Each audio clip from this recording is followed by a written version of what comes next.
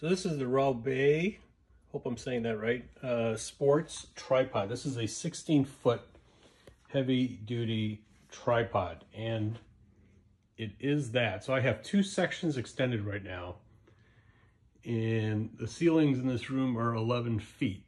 So you see the light is almost by the ceiling there and that's just with two sections extended and two sections are fully collapsed. So I am going to test out uh, the 16 feet uh, tomorrow and also with mounting a camera, but I just wanted to uh, get a short video uh, showing some of the extension of this stand. And it really is a heavy duty stand.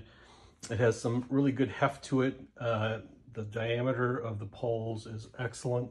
Um, the clamps have been locking uh, very well without uh, too much torque.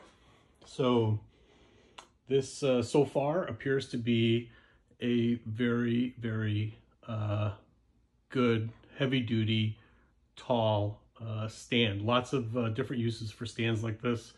Everything from, um, you know, putting up lights and flashes in a bigger room to sports photography, uh, real estate photography, all kinds of different uses. So anyway, this uh, seems like a very uh, solid stand at uh, what is a, a, a very decent price as well.